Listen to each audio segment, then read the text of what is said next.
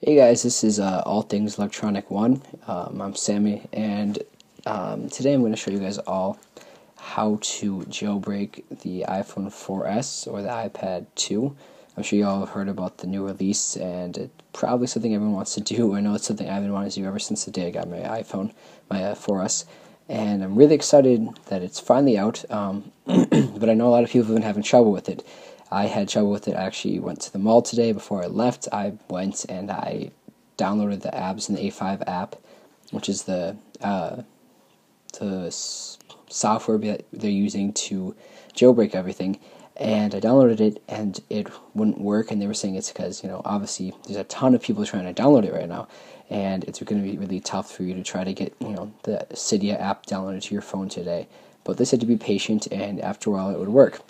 So I kept downloading and trying and trying it, not downloading, but trying and reload the app. If you know, if any of you have been doing this, although you know exactly what I'm talking about, trying to reload it, reload it, reload it, and it wouldn't work. And I kept going to settings and just clicking turn on VPN right from the settings, you know, straight from the settings. Um, so then I got home.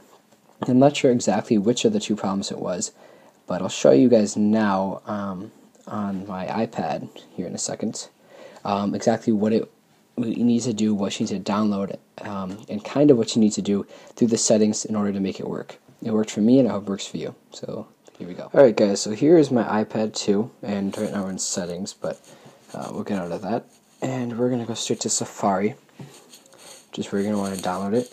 So I look. All you gotta do to get to this page is type in through the uh, browser, through the Google. I'm sorry, the, the search, the search bar. Sorry, that was kind of dumb, so I didn't Google. Um, type in, if it would focus, Absinthe A5. So you type that in, and what's going to come up is once you you know search it.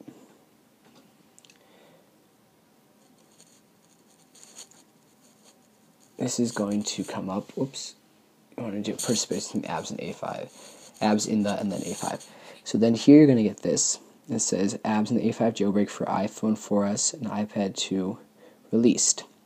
Now, what you, I always did I just went straight to the first thing. Don't click on that. Go to how to jailbreak your iPhone 4S and iPad 2 via Absinthe A5.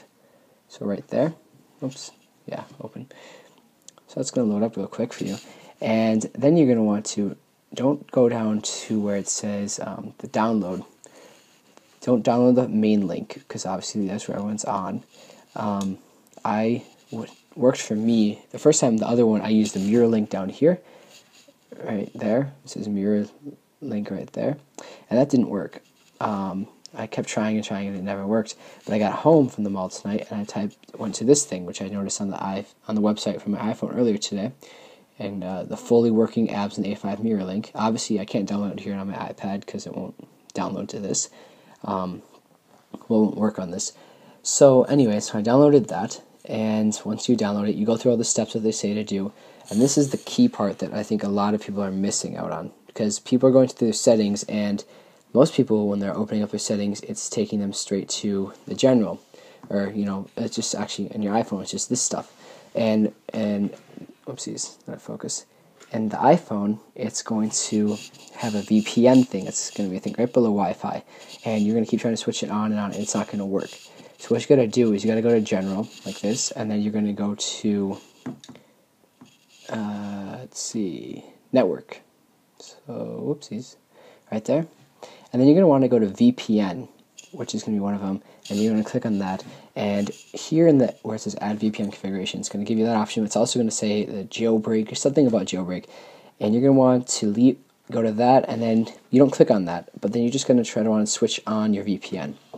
Um, and it's going to, for me, it happened the very first time. It actually didn't work. Well, actually, it, it wouldn't turn on and then it crashed on me, which is good. You want your iPhone to crash and you want it to, once it crashes, it's going to reboot. And once it reboots, it's going to have the new Cydia app for you to use.